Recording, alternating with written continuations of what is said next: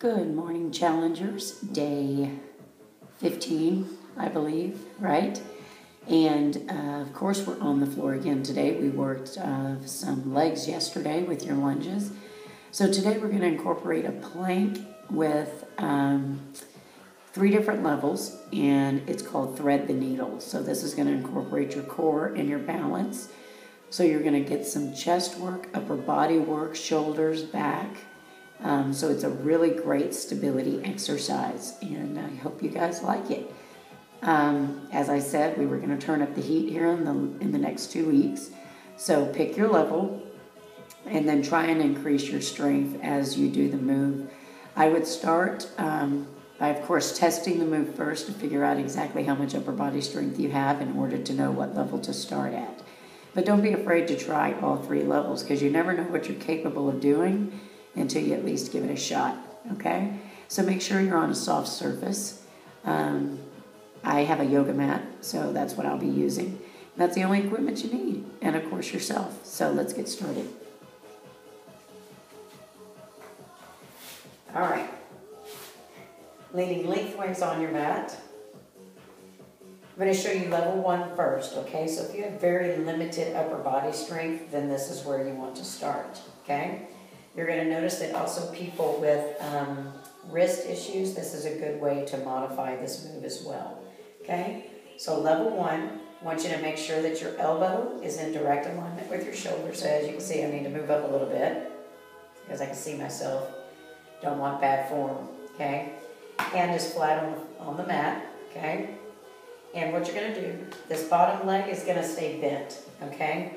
You just want to drag that knee back a little bit so you kind of have a straight line from your knee all the way up through your hip.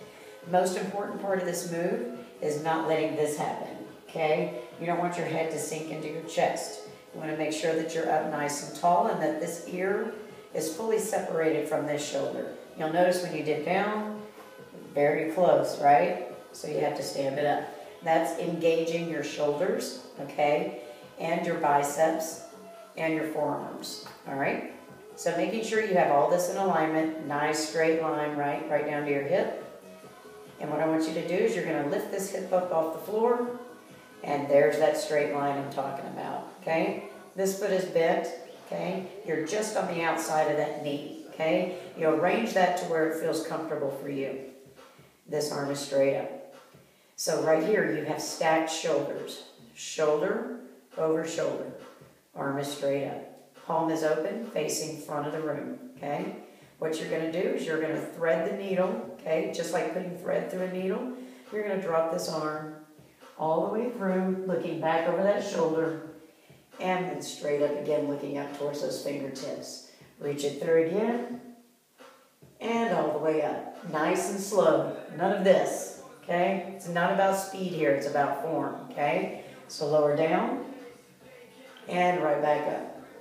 Good, and lower down. Eight repetitions, okay? For each side, that is considered one set, okay? So now what you're gonna do, flip over to that other side. And this is gonna feel like a little break, right? Because all the weight was on this arm, so now we're transferring it over. Again, proper alignment, hand is flat. Elbow in alignment with the shoulder. Okay, you want to make sure that head is up nice and tall so that you have a great bit of distance between your ear and your shoulder. Go ahead and bend that bottom leg. This is your level one again. This foot here, I want this part inside of your foot flattened out on the floor, okay? That's going to help you hold up your body weight. You're going to go ahead and lift that hip up off the floor. Check your alignment. Arm goes straight up. Okay? And then lower through and up. You want to look over that shoulder and look up towards those fingertips. Good. And reach. And core is engaged each time, working those obliques. And then right back up. Good. That's one set. Take about a 30 second break between and then start back on that opposite side. Don't do two, don't do your left two times in a row. You want to alternate right, left, right, left, right, left. Give those shoulders a little break, okay? My level two people, okay? Same arm, okay? except this time both legs are gonna extend out straight, okay? What I like to tell my clients, rather than stacking your feet on top of each other, and you can do that, I like to get a little bit more stability by taking my top foot slightly out in front of my back foot. They're both still on that outer edge of the foot, okay? You're not on your toes or your heels. You're flattening those feet out against the floor, okay? Check your alignment, shoulder and elbow. And lift that hip up. Good, right here. And you'll notice down on the bottom, you can kind of see the outside of my shin, right along that calf, is laying flat on the floor, okay?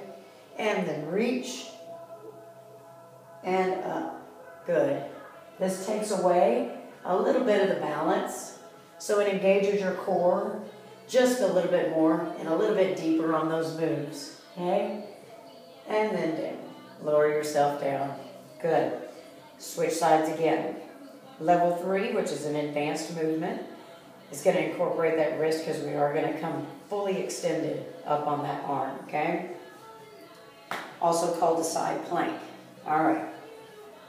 I like to make sure that my fingertips are pointed in direct alignment with my body, so they'll go out in this direction. They won't be turned this way because then it puts a really big kink, 90 degree bend in my wrist, and I don't want that, okay? So you want to try and keep that wrist as straight as possible, okay? I'm going to try and line myself up here, okay? Again, shoulder right over the wrist, okay? Now here you can still have a leg down, okay? And be up just like this. Shoulders are stacked, okay? And reach and lift. Reach and lift. Good. When you feel like you've got enough strength there, take it one level higher, okay? Legs are stacked, or staggered rather, okay? Outside of those feet down on the floor. Shoulders are stacked. Reach and lift. Reach and lift. Good. Anytime you're in this position, rather than stomp, just modify that move. Reach, move. Say you're in this position and you start to get tired and can't complete eight. Drop down to that forearm, and you're right here. Continue the move. Okay? Good. All right. So, eight on the right, eight on the left. 30 second break, that's set one. Eight on the right, eight on the left, 30 second break, set two. Eight on the right, eight on the left, 30 second break, set three. So three sets, and you should start to feel that in your shoulders, all right? Good stretch for those shoulders when you finish up, okay? I'm gonna pull that arm directly across the chest. You never wanna grab an elbow or at the wrist because that's a joint and you don't want to grab there. So grab somewhere in between, okay? And I'm going to face you because this is a big mistake I see in the gym is this. You don't want to pull that arm all the way across. Keep your shoulders facing straight forward, okay? You're going to take that arm straight out to the side.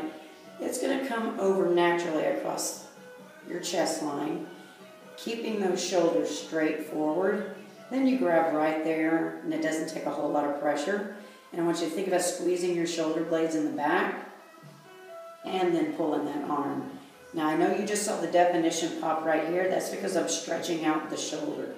Okay? So pull back. Again, not on the wrist. I just caught myself doing that. Okay? Good. All you're doing is holding on to that arm so that you can pull those shoulders back and away. Okay? Squeezing those shoulder blades in the back. It's to lengthen out all of this where you were in that cramped position. Okay? Good. Then you can take that same arm out, up and over. You don't want to move the head to accommodate the arm. You want the arm to go behind the head. Then you reach that arm around and you want a straight line from your elbow all the way down through your shoulder, down to your lats. Okay? Good, nice stretch. I'm going to hold each of these three deep breaths in and three out. And release. Good. Arms straight out. Come across the chest, keeping those shoulders forward. Ramming right there. Pull it back. Good. Shoulders back and down away from the ears, squeezing those shoulder blades in the back. Good. And then take that same arm out, up right behind the head, grabbing that elbow and pulling it right into alignment with that shoulder and that lat. Good. Nice big deep breaths in and out. And release. You can also take those arms, pull them straight back, opening up that chest, keeping that head up nice and tall. Don't look up towards the ceiling and don't be looking down. Keep that neck in neutral alignment. Elbows are trying to squeeze together in the back. And then bring those arms forward. Clasp those fingers together. Turn them away. And you scoop the abs and drop the head down in between the arms ever so slightly. You want that slight roll right through your shoulder blades, okay? See, I'm kind of I'm up nice and tall, and then when I do this, I'm curved and I have a nice C, okay? Opening up through those shoulder blades in the back. And release. Good job. So you've got your thread the needle move, and then you've got a couple of stretches to to um, alleviate some of that stress on those shoulders, arms. You'll feel it in the back and in the chest and in your obliques, okay? All right. So let's get started. Let me know how you do. Bye.